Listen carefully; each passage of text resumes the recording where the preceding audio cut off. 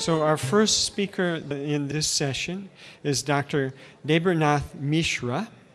He will be speaking on a critical study of medicinal plants in Sanskrit medical text of Madhava. Thank you, Dr. Mishra. Good evening to all of you. Uh, since morning, we have been listening to Ayurvedic uh, plants, drugs, and so many other things, and especially of Charak Samhita, Susrut Samhita, Ashtanghrudaya. And Madhav Nidan is known to all Ayurvedic uh, practitioners, Ayurvedic students. But there is a book, there is a manuscript available, five manuscripts are available. There is one edited book on Madhav Chikitsa, which has compiled the entire Charak Samhita, Susrut Samhita, and Ashtanghrudaya with respect to treatment. And it is exactly in the line of Madhav Nidana. While studying this as a postdoctorate fellow in Leiden University on my research, I came across several things that I wanted to point out in front of you. And I will honestly request because while seeing all the slides, I was very much pained to see the plant names being literally written as they wish in taxonomic way, in botanical way, in identity nomenclature, in ICBN rule, such type of things should not be allowed. And that is where we are lacking in presenting our Ayurvedic products properly. That will be my last part of presentation. So here, as you all of are practicing Ayurveda, you all know that to become a good Ayurvedic practitioner, there are three things required and that's what I said the success of Ayurveda lies in correct reading of the texts or the verses or the medical compendiums. And then the full understanding of the Sanskrit meaning of it. And finally, the taxonomically correct identification of plants, the botanical identification, the crude parts.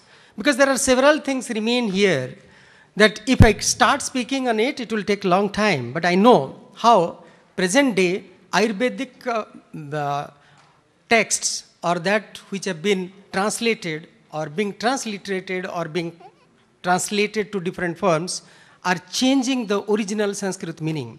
We know Vastram Bhave Sutram Dadyat, but that Sutram Dadyat has changed into Mutram Dadyat. That's very unfortunate. We are no more understanding that Sanskrit critical Sandhi and the uh, analysis of this. Similarly, we are also not giving proper emphasis on plant taxonomy in Ayurvedic studies. Hardly, I, I saw many people are talking about Ashwagandha, Satavari, and so many things. But I'm sure many of you must not be knowing that asparagus or Satavari has nine species, and out of that, six species do not produce root tubers.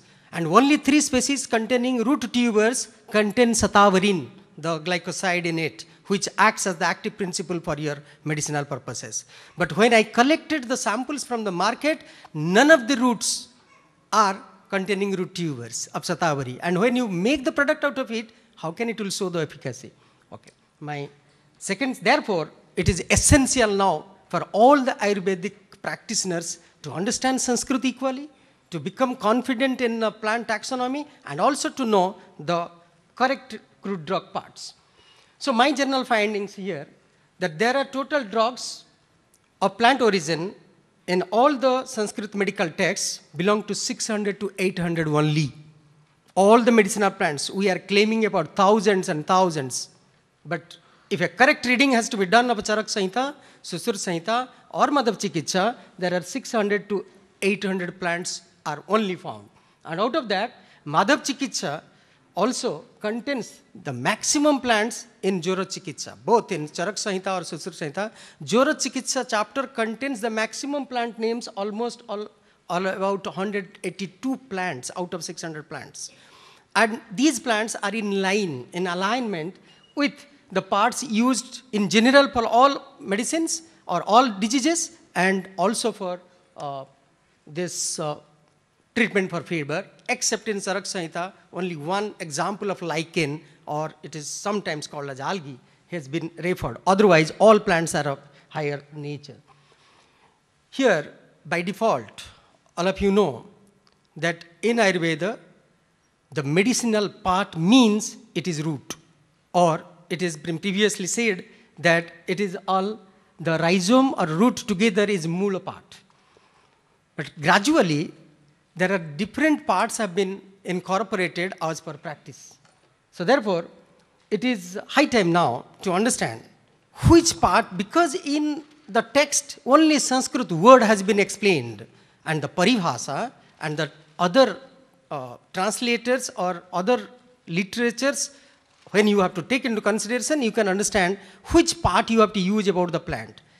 Therefore, it is very difficult to uh, understand that which part you have to take from the Sanskrit word. Just saying that it is just a doesn't mean that you know which part has to be taken. It is by practice, it is by uh, study the literature. However, this slide shows about uh, how much maximum part, that is root and rhizome, takes place. The macro study says that all the 600 to 800 plants belong to deciduous forest areas, not to evergreen and not to temperate regions. In Indian content, it is the proper deciduous vegetation that has made the maximum plants as medicinal plants, those 600 to 800 plants.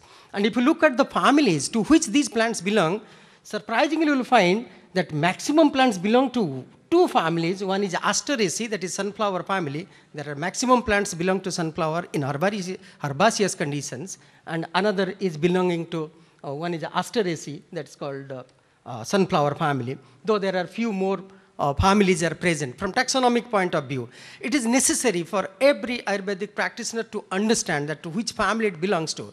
Because of this, the substitutions or the adulterations uh, have been done. My uh, two more slides are there. My critical observation that the several Hindi names are substituted to Sanskrit names. They are showing different taxa altogether it is a crime that when they don't belong to the same group, just because the Hindi translation has been given to the Sanskrit name, I have given several examples. I've been given uh, uh, so many examples that uh, are being interpolated or being adulterated. You can see that uh, so many names I have specifically given that the Hindi names or the Marathi names or the local translations have not given the correct justification to the Sanskrit names. So therefore, I have given also so many names I have given at the top which do not have equivalence in either the local languages. Therefore, they are substituted very often. They are substituted. This is the Sanskrit name which doesn't, I did not find. I took one year of my research to study only one chapter, that is Madhav Chikitsa, Jwara chapter, treatment of fever, but I did not find the entire botanical literature I searched to equivalent words for this. Somehow, my two more slides uh, will be showing that in present day market products, these are also giving us wrong informations. For example, the Sanskrit names are never been written properly because in English when you say Ramo, Rama and Rama, all three as R-A-M-A. But it doesn't show the gender and it make a lot of differences. So the Sanskrit has to be written with diacritical marks and Unicode for the world understanding today. In most of the uh, uh, recipes, we don't find this. Similarly, the botanical names are never written as per ICBN rules, violating the entire common sense of plant name translations. And these are the products, therefore I wanted to show, bring to your notice that look at all these products, they are neither showing the correct Sanskrit name, nor showing the correct botanical names of the plants. Neither it shows also that which part has been used in this product. So therefore, the whole world do not believe in this system.